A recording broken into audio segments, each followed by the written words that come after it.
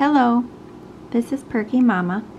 I received the Micrite 3D All-Use Eye Cream for wrinkles from Swiss Vita for free in exchange for an honest review.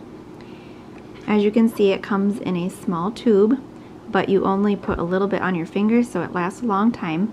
I've been using it for about two weeks now and have noticed that my skin under my eye is smoother and I have no visible wrinkles and it's a has a shinier look.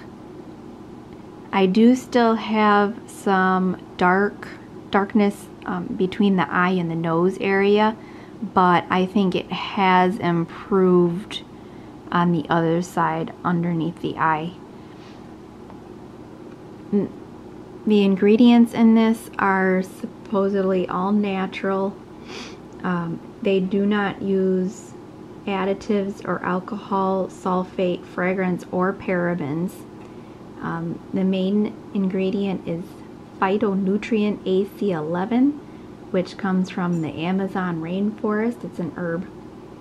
And it's supposed to help repair your, your skin tissues so that it it looks more youthful.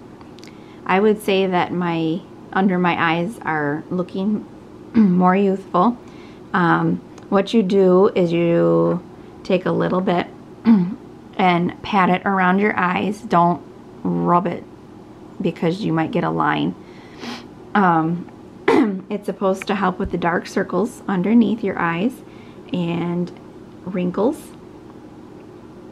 and give you a more youthful youthful appearance and I would say that it is passing the test with my eyes and I would recommend it if you are looking for an eye cream. Um, let's see if I can you can see my eyes right here.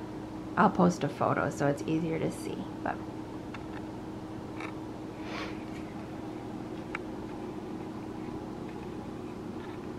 Thank you.